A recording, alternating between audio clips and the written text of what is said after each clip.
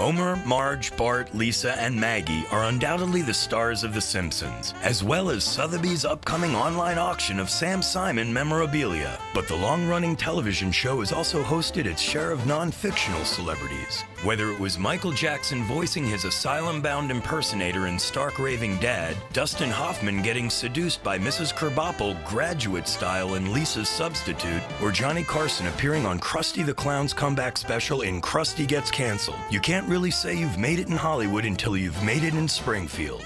Bid online on these moments in Simpsons history offered without reserve during Sotheby's October 22nd online auction, The Creative Genius of Sam Simon, a lifetime of memorabilia at sotheby's.com slash Sam Simon.